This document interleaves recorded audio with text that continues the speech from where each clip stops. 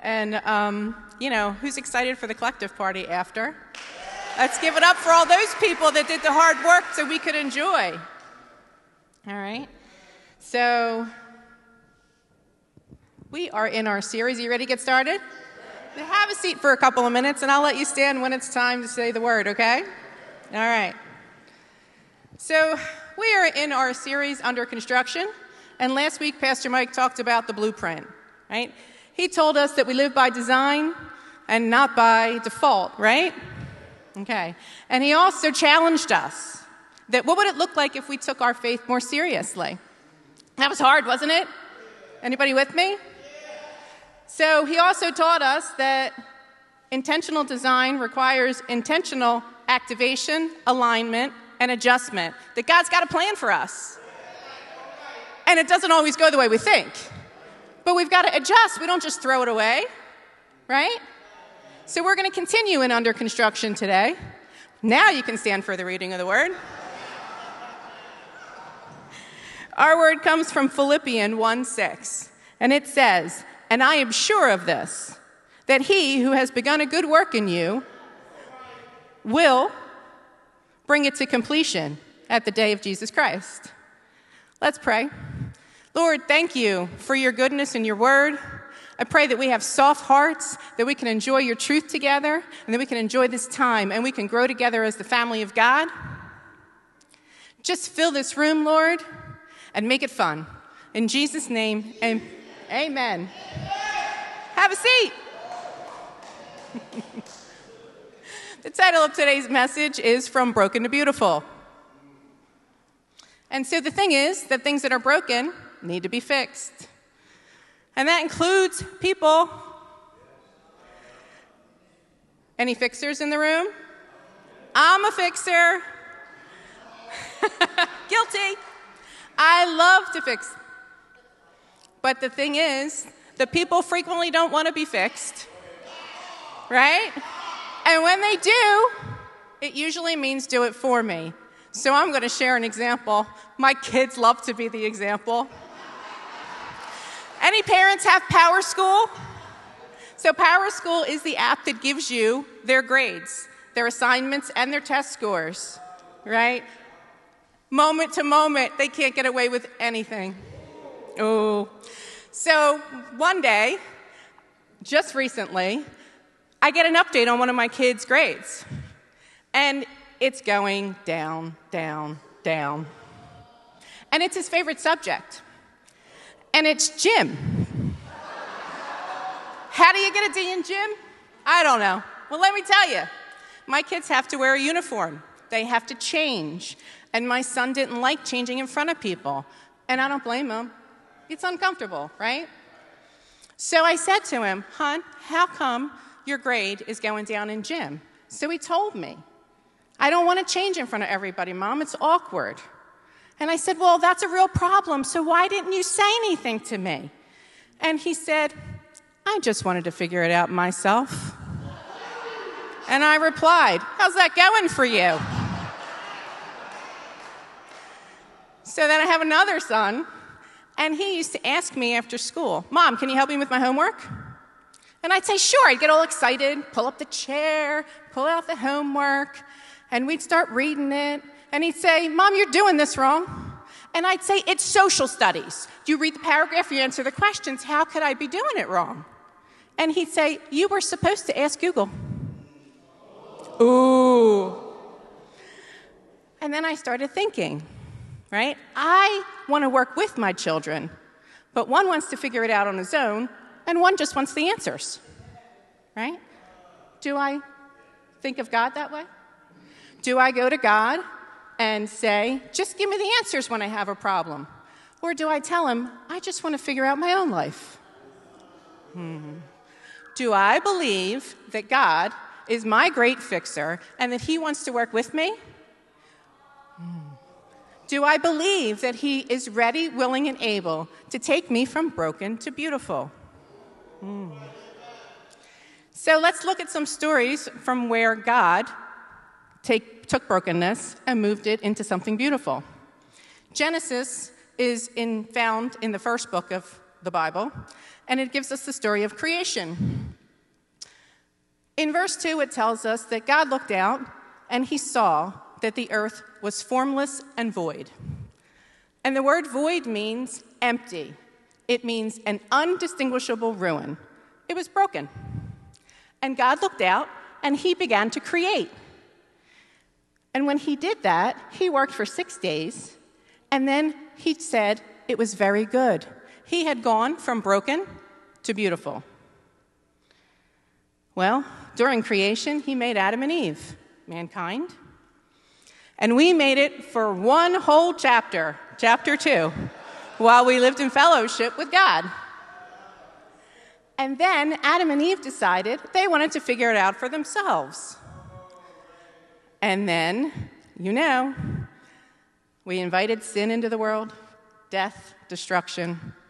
We took the keys of the kingdom and we gave them over to the enemy, and now he's available to come and steal, kill, and destroy. But God didn't leave us there. He had a solution, right? And his solution was Jesus. Salvation through Jesus is a beautiful gift, but God wants us to work with him. And when we do, he restores us and he takes us from broken to beautiful. So, can we look at an individual's story? Yeah? You ready? Who loves Peter? I love Peter. So, Peter is an apostle. His story is told in the Gospels Matthew, Mark, Luke, and John. And he's an ordinary guy. He's a fisherman, he's a husband, and he's a brother. And one day he has an encounter with Jesus. And he says to him, Depart from me, Lord, for I am a sinful man. But Jesus tells him, Don't be afraid, for I'm going to make you fishers of men. You see, God's plan for Peter is that he's going to take him from ordinary to evangelist, from broken to beautiful. Let's look at some highlights of the journey. Peter is one of the 12. He has a front row seat to Jesus' teaching, to his healing. He sees deliverance. He sees Jesus forgive sin. He sees Jesus move the elements and transform nothing into provision for multiple people, right? It's beautiful, it's amazing. And one day, after all that, Peter and the apostles are out on the, store, on the, the sea, on a boat, and there's a storm. And they try to handle it on their own, and they can't. And then Jesus comes walking on the water. And Peter sees him and says, Lord, if it's you, tell me to come. And he does. He steps out on the water and then he sinks. And Jesus has to lift him up. And then, later in Matthew, the church is starting to, it's getting harder walking with Jesus, and they're starting to fall away. And Peter declares, You are the Christ. And Jesus says to him, You are Peter, and upon this rock I will build my church, and the gates of hell will not prevail against him. And then a few verses later, Peter is challenging Jesus, telling him that he's going to die. And he rebukes Jesus, and Jesus turns around and says, Get behind me, Satan. Can you imagine, after hearing that? Get behind me, Satan. If you just heard, You're Peter, upon this rock, I'm going to build my church. Whew, man, that's tough, right? And then Peter is in the garden with Jesus. And Jesus asks him to just pray, but he falls asleep.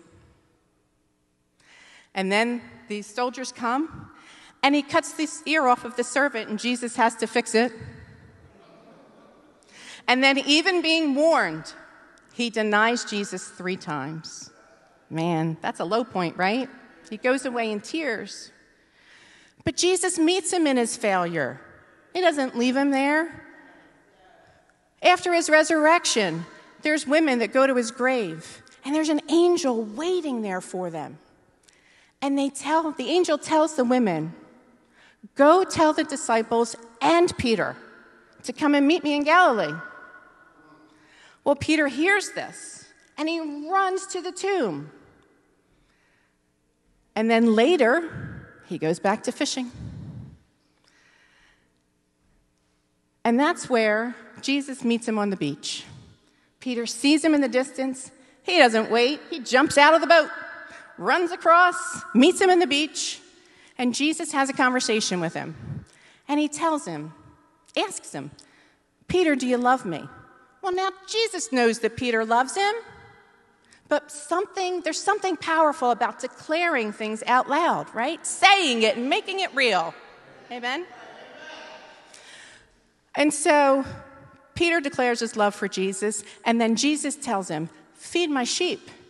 And we've gone from where Peter's call started to be fishers of men to feed my sheep. This time, Jesus tells him, Go wait in Jerusalem for power. And Peter does it. And he goes and he waits and he prays, and the Holy Spirit comes and he receives power and he preaches the gospel message, and 3,000 people are saved. And the church is launched, and Peter has gone from broken to beautiful. Amen, right? God doesn't run from our brokenness. He delights in making us beautiful. Psalm 18:19 says, "His love broke open the way. He brought me into a beautiful broad place. He rescued me because his delight is in me." God doesn't run from our brokenness. He delights in making us beautiful, in transformation. But brokenness comes first, and that's our first point. God sees the void, the undistinguishable ruin, and he goes to create. Adam and Eve went and hid, but God went to find them. Peter saw his own brokenness, his sinfulness, and he tried to run away. Depart from me, Lord. But instead, Jesus told him, Don't be afraid. And he began to work on Peter. And in my own life, I was 29 when Rob and I decided we were going to have a family. It didn't take very long for us to run into our brokenness. We were met with infertility, and it was hard and painful. And for a while, we played it off. Did you ever play off the problems in your life? Oh, it's all going to be okay. But then, you know, we went to some doctors and things didn't work out, and it became more and more real. And so we, I had to start telling people when they would ask me, When are you going to have your, your family? And every time, every single time, they looked at me and said, What's wrong with you? And it hurt. And I began to believe that there was something wrong with me. It wasn't my fault, but yet I was broken. And so I began to believe that not only was I sad and hurt, but that I was unworthy. I felt judged. And there's two things that came from that. One, I put a period where God put a comma, and I came up with my own plan B. I was going to retire, go out and have fun. I was going to retire at 55. And I'm going to tell you something. You ready? It's in two days, and I'm not going to make it because I put a period where God had a comma. Thank you. I love you too. and so, here's the thing though this is the not so funny part. I began to judge others because I felt judged. I owned that judgment and it spilled out. So we became foster parents. And I can remember our first placement. And I thought, I heard the story of this mom and her struggle. And, you know, I really felt God put a lot of compassion in my heart. And I knew it was Him because I'm not an overly compassionate person. That's just the truth. And I began to pray for her and the struggle that she was having. And then I met the kids. And I looked at them and I saw their pain. And I remember sitting at my kitchen table and I looked up at God and I said, Really? Couldn't I have done better than that? And suddenly I had this internal turmoil that compassion in one side and on the other side, judgment, because I had owned that in my own life. But God didn't leave me there. He met me in my brokenness. He taught me who He was. And that is our next point, too. Construction is a process, it's often messy. Peter is up and down all over the place. Up and down and up and down like the market. Do you watch the stock market? You never know where it's going to end. It's good, it's bad. That was true for me too. I was up and I was down. Compassion, judgment, insecurity, and fear. The process took time. All of God's process took time. Creation took six days. From Adam and Eve, their mistake, to the resurrection of Jesus took over 4,000 years. Right? Peter's journey took over three. And from the day Rob and I decided we were going to try to have a family until the day our family was complete, that was 20 years. And God did a lot. He showed up, He showed me who He was, that He loved me, that He was real. And then He had a comma where I'd placed a period.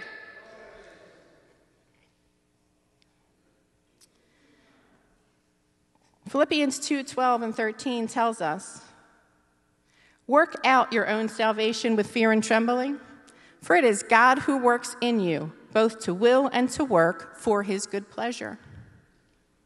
Now, that does not mean that we work out our own salvation.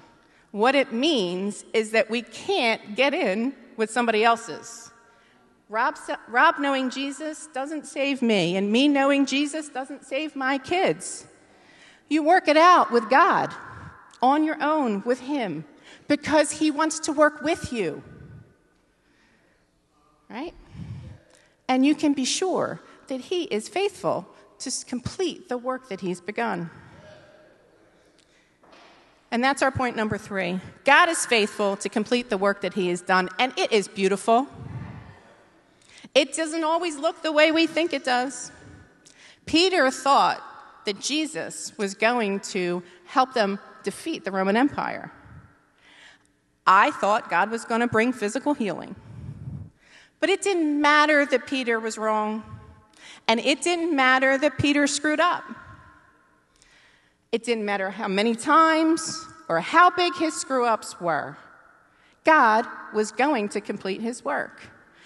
And that same thing was true for me. It didn't matter that I put a period where God had a comma. It didn't matter that I didn't believe. It didn't matter that I felt unworthy. It didn't matter that I was stuck in judgment. It didn't matter. God had started a good work, and He was going to complete it. Peter had to keep running back to Jesus, and I had to do that too. In Japan, there is an art form called kintsugi. A craftsman takes broken pieces of pottery and he puts them back together using gold as cement. And the finished product becomes stronger, more beautiful, and more valuable. God uses gold for his people. It's a sign of love and favor. So in my life, God could have healed me. He could have restored my body and given us a natural child, and that would have been a miracle. We would have all shouted, right?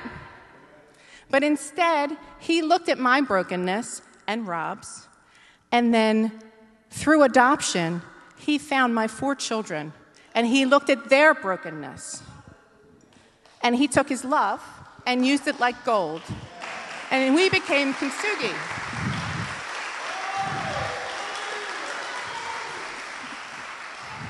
And what was broken became more beautiful, stronger, and better.